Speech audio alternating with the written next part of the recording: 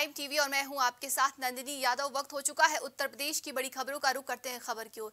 रायबरेली जिलाधिकारी माला श्रीवास्तव ने हाड़ का पाती ठंड के बीच खुद मोर्चा संभाला। जिलाधिकारी ने देर रात शहर के अंदर बने आधा दर्जन से अधिक रैन बसेरों में जाकर रियलिटी चेक किया।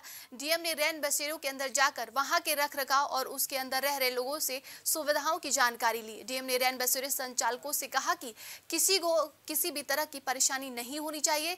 जिला प्रशासन ठंड से निपटने के लिए 24 घंटे तैयार है। साथ ही रैन बसेरों में रह रहे लोगों से जिलाधिकारी ने आभार भी जताया।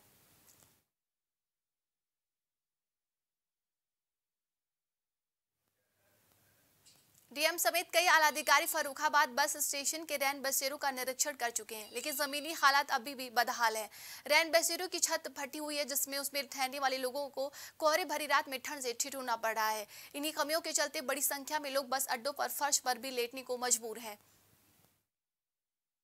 क्या सुनना है आपका? कृष्णपाल सिंह। दादा आप किस विभाग से? जी नगर पालिका से आप कहाँ हैं अभी? अभी हम रैन बसेरे में बस स्टैंड फरक्काबाद कितने लोगों की ड्यूटी है यहाँ पे? दो लोग हैं कृष्णपाल सिंह और धर्मेंद्र सिंह।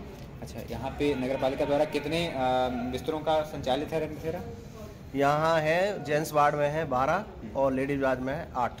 अभी कुल कितने जो लोग हैं रैन बसेरा अभी रैन बसेरे में सोलह लोग हैं। अच्छा तो इन लोगों को जो व्यवस्था है वो लगभग सारी व्यवस्था अवेलेबल है रजाई गद्दे हैं बढ़िया और पूरा उन पर चादर वादर लगी हुई है बढ़िया है सब। रैन बसेरा में लोग क्या नाम है आपका? वैभव कुमार। कहाँ के रहने वाले हैं? हरदोई के। कहाँ गए थे और अभी कहाँ पे हैं? नोएडा से आ रहे हैं। क्या काम था? काम कर रहे थे। जॉब करते हैं आप। अच्छा तो अभी आप कहाँ हैं? फरुखाबाद में। बस अड्डे पे। बस अड्डे पे। कहाँ लेटे हैं? रैन बसेरा में। इसकी छत कैसी है? फटी हुई है। फटी हुई है। थोड़ी फटी है पूरी फटी है? पर्दा फटी है छत छत वाली पूरी है? हाँ। तो अ, इसमें हवा कुछ हीटर वगैरह का इंतज़ाम है? नहीं। कुछ भी नहीं है? अच्छा। बाकी व्यवस्था कुछ? पानी वगैरह के लिए? है। अच्छा। छत पूरी पर्दा जो फटी हुई है? हाँ। अच्छा और भी लोग लेटे होंगे आपके साथ में? हाँ हाँ हाँ। हवा वगैरह चल रही है? हाँ चल रही है हल्की हल्की। दुकान में लगी भीषण आग, कड़ी मशक्कत के बाद बुझाई गई आग। बुलंदशहर के अनूप शहर में कला बाज़ार, गांधी अनाज मंडी के सामने बीती रात किराना की दुकान में शॉर्ट सर्किट की वजह से लगी भीषण आग की सूचना मिलने पर थाना प्रभारी निरीक्षक यज्ञदत्त शर्मा पुलिस फोर्स के साथ पहुँचे और जहांगीराबाद गहना फायर स्टेशन से घटनास्थल पर पहुँचे। स्थानीय लोगों ने भी आग बुझाने में दमकल कर्मियों की मदद की। आग में लाखों का नुकसान बताया जा रहा है।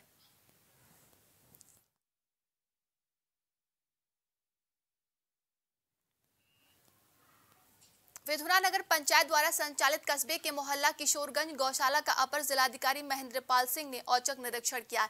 इस मौके पर उन्होंने सेवादारों के लिए शौचालय बनवाने जाने के निर्देश दिए। उन्होंने कहा कि अगर सर्दी से गोवंश की मौत हुई तो गौशाला प्रभारी जिम्मेदार होंगे। इस अवसर पर उन्होंने गौशाला के रजिस्टर का निरीक्षण कर चारा, दाना, उपचार आदि को देखा। साथ ही रजिस्टर में सख्त निर्देश दिए। गौशाला के निरीक्षण के दौरान कुछ एक कमियाँ मिली हैं।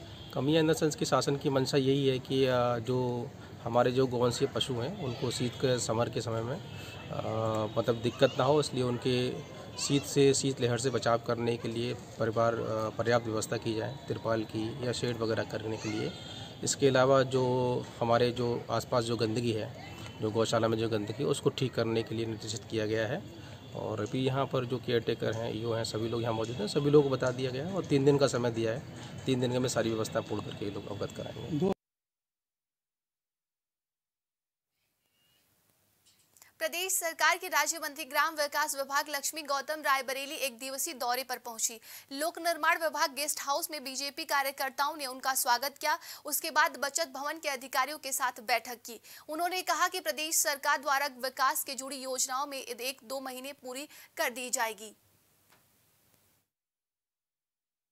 ग्राम विकास से जितनी हमारी योजनाएँ संचालित हैं हम्म, लगभग सब पूर्ण है जो अभी पूर्ण नहीं है।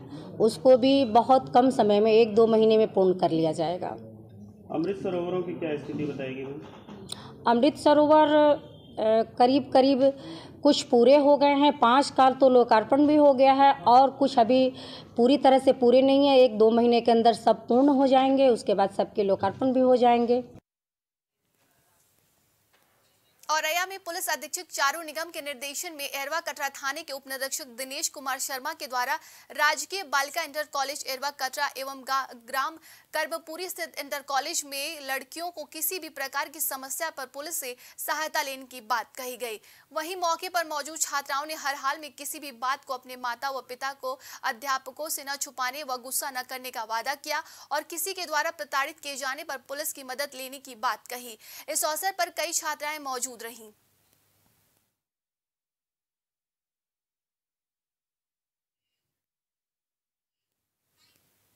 अलीगढ़ जिला मुख्यालय यानी कलेक्ट्रेट में बार एसोसिएशन का चुनाव किया गया, पर कलेक्ट्रेट में ठीक सामने ओल्ड बॉयज़ लॉज में रात में चल रही शराब पार्टी को लेकर बखेड़ा खड़ा हो गया। शराब पार्टी की खबर मिलते ही ओल्ड बॉयज़ लॉज पहुँचे। यूनिवर्सिटी के छात्रों व छात्राओं, नेताओं ने हंगामा शुरू कर दिया, जिसके बाद हंगामा करते हुए छात्रों ने परिसर को खाली कराने के बाद उसमें ताला डाल दिया।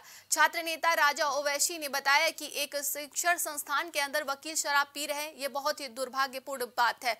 ओल्ड बॉयज़ एसोसिएशन पर कार्रवाई की जानी चाहिए। ओल्ड बॉयज़ एसोसिएशन में जो गेस्ट हाउस है, वहाँ पर शराब पार्टी चल रही थी। और जैसे सूचना मिली हम सारे लोगों को तो हम मौके पर पहुँचे, क्योंकि शराब एक इंस्टीट्यूशन के अंदर चल रही है, खुलेआम चल रही है। कई पेटियाँ वहाँ पे थी जो मौका वारदात पे हैं, जो वीडियो में आप लोग देख सकते हैं। और इसमें सीधे सीधे जो जिम्मेदार है, वो ओल्ड बॉयज़ एसोसिएशन का जो एडमिनिस्ट्रेशन वो जिम्मेदार है।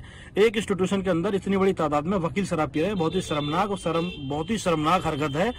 इन लोगों पर जाँच के आधार पर कार्रवाई होनी चाहिए, क्योंकि शिक्षा के मंदिर में शराब पीना बहुत ही सख्त और सख्त एक अपराध की श्रेणी में आता है।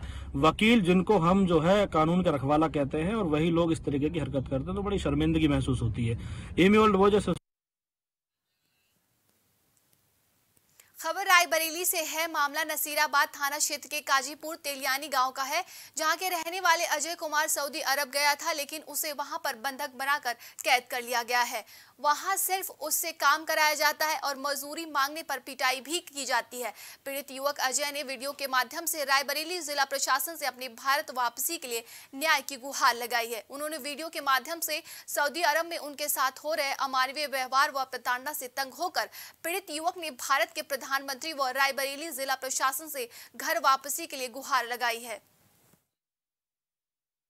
मुझे एजेंट ने इंडिया में बोला कि चाय गावस्त्रा का काम है, आपका, आप जाइए, वहाँ पर चाय गावस्त्रा का काम है। और मुझे यहाँ आने पर मुझे कपिल ने मजरे में लगा दिया। और जब मैंने कपिल से बोला कि ये मेरा काम नहीं है तो उसने बोली कि आप अंदर काम करिए, आप बाहर काम करने आपको नहीं जाना है। आपको बाहर काम करने नहीं जाना है, आप अंदर काम कर रहे हैं जो कि मैंने नब्बे दिन के अंदर ही बोला था कि मुझे काम नहीं करना, मुझे घर वापस ही जाना।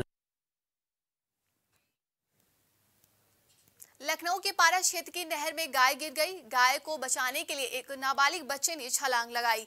लगभग एक घंटे कोशिश के बाद नगर निगम और पारा क्षेत्र के पत्रकारों ने नहर से गाय निकाली। लखनऊ नगर निगम आयुक्त इंद्रजीत सिंह ने पारा क्षेत्र के नहर में गिरी गाय के लिए तत्काल प्रभाव से सेवाएँ उपलब्ध कराई, लेकिन स्थानीय पारा पुलिस हाथ बांधे मौके पर तमाशा देखती रही।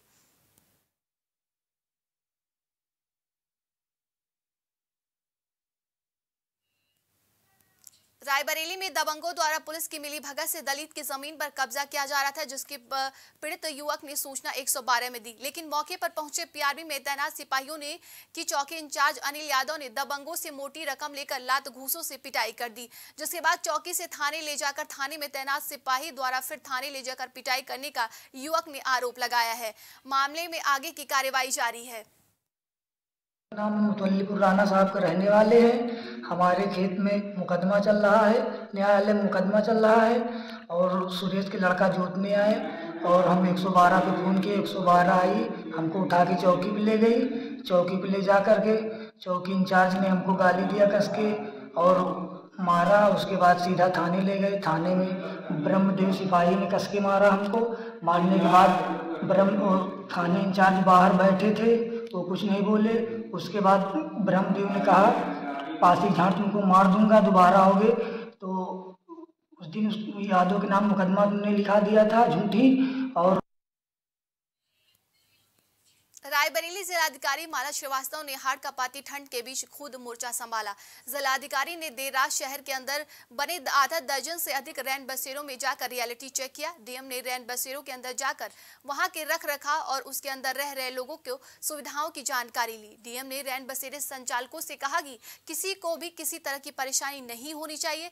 जिला प्रशासन ठंड से निपटने के लिए चौबीस घंटे तैयार है। साथ ही रैन बसेरों में रह रहे लोगों ने जिलाधिकारी का आभार जताया।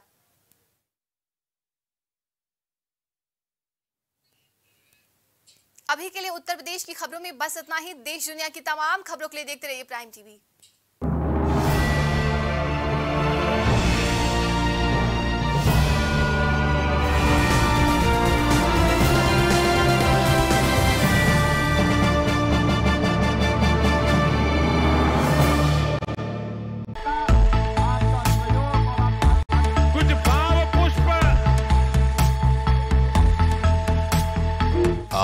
देख रहे हैं। प्राइम टीवी सच साहस सरो